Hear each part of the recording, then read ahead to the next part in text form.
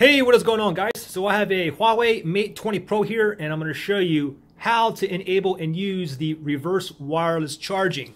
So the first thing I want you to do is go into your settings and then go down and look for battery and now look for wireless reverse charging.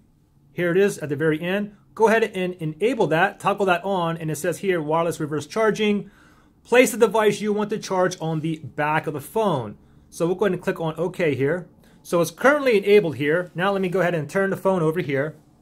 And let's get one of my other phones here. Here's a Google Pixel 3 XL. Let's go ahead and pop this bad boy on like that. It's charging right away. Let's do this. Let me pull this off and let me put it sideways. Okay, no problem. Let me go ahead and pull this off. Let's go ahead and grab another phone here. How about a uh, iPhone uh, 10R or XR here? Let's try this right here. Okay, works right away. What if I put it to the side like this? Okay, no problem.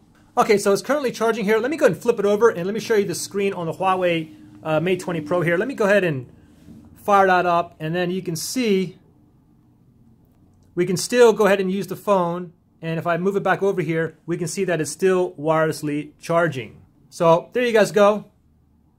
Pretty simple to do. If you guys have any questions or anything, uh, just comment below. I'll see you guys on the next one. Thanks. Bye.